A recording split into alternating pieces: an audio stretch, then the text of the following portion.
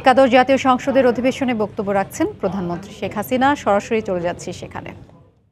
পানি, মাছ উৎপাদনে, আর বিশ্বে আমরা তৃতীয় স্থান। সবজি উৎপাদনে আমরা চতুর্থ স্থানে, আলু উৎপাদনে আমরা অষ্টম স্থান। ফল, মূল, তরি, তরকারি সব কিছুর উৎপাদন আমরা বাড়িয়েছি। যেসব জিনিস একটা হয়তো শুধুমাত্র শীতকালেই পাওয়া যেত। এখন তা বারো মাস পাওয়া যায়।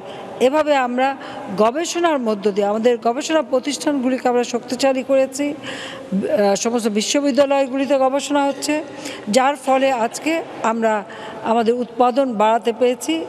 আমাদের দেশের মানুষের খাদ্য নিরাপত্তা যেমন আমরা নিশ্চিত করেছি পুষ্টি নিরাপত্তারও আমরা পদক্ষেপ নিয়েছি, তার শুভফল দেশবাসী পাচ্ছে। কারণ মৎস্য উৎপাদন বা মাংস উৎপাদন অথবা আমিষ উৎপাদন, ডিম উৎপাদন, দুধ উৎপাদন সব কিছুতেই কিন্তু আমরা অগ্রগতি লাভ করছি।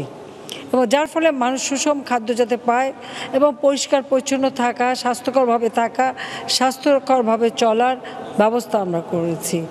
আমরা মানুষ, চিকিৎসা সেবা মানুষের দোরগোড়ায় পৌঁছে দিয়েছি। কমিউনিটি ক্লিনিকের মাধ্যমে প্রাথমিক চিকিৎসা দেওয়া হয়। তিরিশ প্রকারের ঔষধ বিনা পয়সায় আমরা দিই। ফলে যে কোনো মানুষ বাড়ির কাছে হেঁটে যেয়ে চিকিৎসা নিতে পারে। বিশেষ করে মেয়েদের জন্য সবথেকে বেশি সুবিধা হয়েছে। শিশু মৃত্যুর হার আমরা কমিয়েছি মাতৃমৃত্যুর হার আমরা করেছি। মানুষের আয়ুষ্কাল আমরা বৃদ্ধি করতে সক্ষম হয়েছি। ছেষট্টি বছর থেকে এখন বাহাত্তর বছরে চলে গেছে।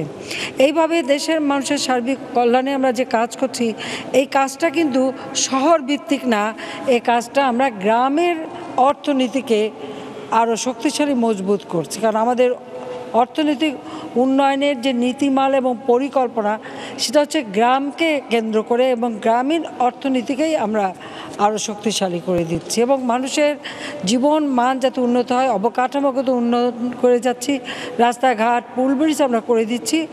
পাশাপাশি গ্রামের মানুষ নাগরিক সুবিধা পায়, শহরের সুবিধা পায়, সেই সুবিধা যাতে তারা সেভাবে আমরা পরিকল্পনা নিচ্ছি। একাদশ জাতীয় সংসদের অধিবেশনে বক্তব্য রাখছেন প্রধানমন্ত্রী শেখ হাসিনা। আমরা এতক্ষণ ছিলাম সেখানে।